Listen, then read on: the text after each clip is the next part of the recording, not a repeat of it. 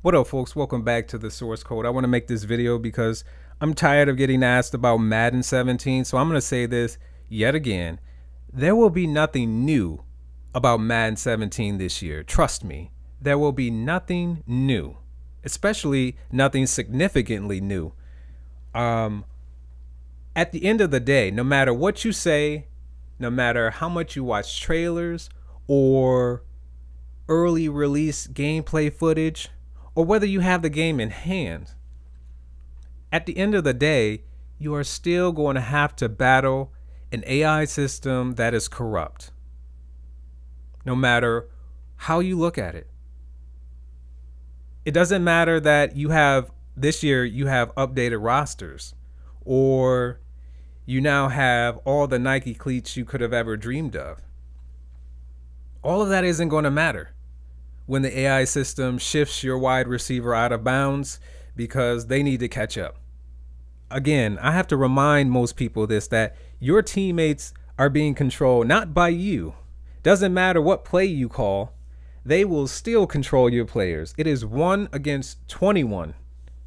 And if you think that this year it's going to be any different because they claim they calibrated the AI system a little bit to the left or a little bit to the right or a little bit here or a little bit there. It won't make a difference. You're going to need an outstanding slider set just to make the game playable. And that's just for some people because most people, they don't even like using slider sets. They like to just play the game straight out of the box. Every year is the same with Madden. Nobody really plays Madden all year round. I won't say nobody. There is very few people the game costs 60 plus dollars. You get $2 when you turn it in. You stand outside for hours waiting for an early release. Gotta gotta pre-order the game.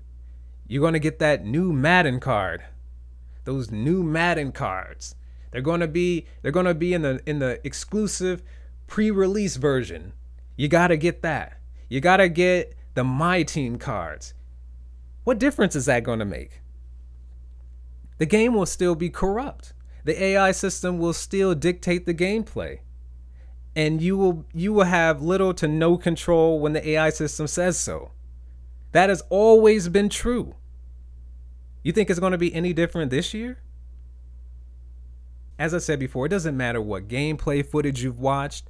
It doesn't matter which trailer you've watched.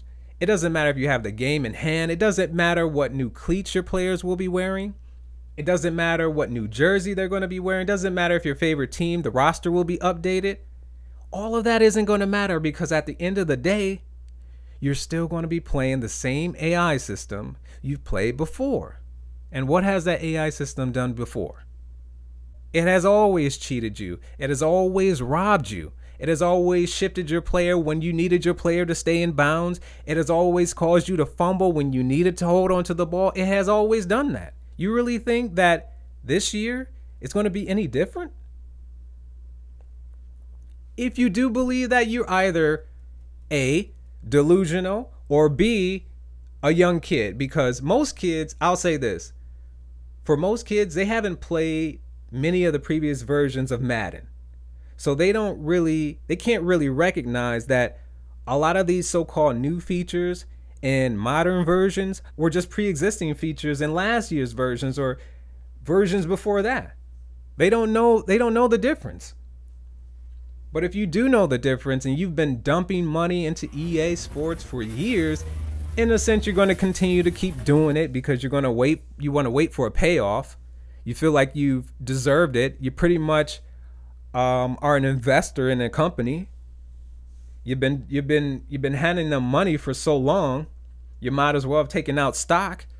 Madden 17 is not going to be anything new. Nothing there will be nothing new about Madden 17. Those things that will appear to be new will just be rearranged, rehashed uh, material that they've applied in years past um, or they have stolen from 2K there won't be anything new. You'll go out there, you're going to stand in line, probably for at least an hour. You're going to have a Madden party. You're going to, if you have a YouTube account, you're going to broadcast your gameplay.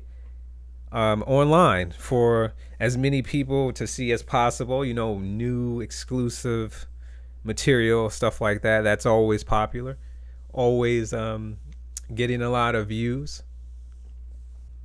People going to buy the game. They're going to be hype for the first two months at least. Um, after that, it's going to decline like it always does.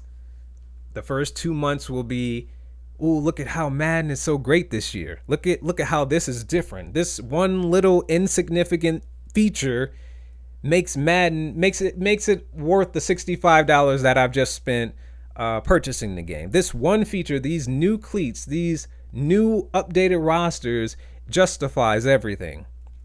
Justifies years of investing in this company because most of us who actually are buying Madden year after year, you're pretty much investing in the company. You're keeping them in business. You're um, paying their gas bills. Um, you're paying their rent. You're paying their uh, mortgage. You're paying their electric bill, so on and so forth. Um, as I said before, most people who will buy Madden 17 will be kids.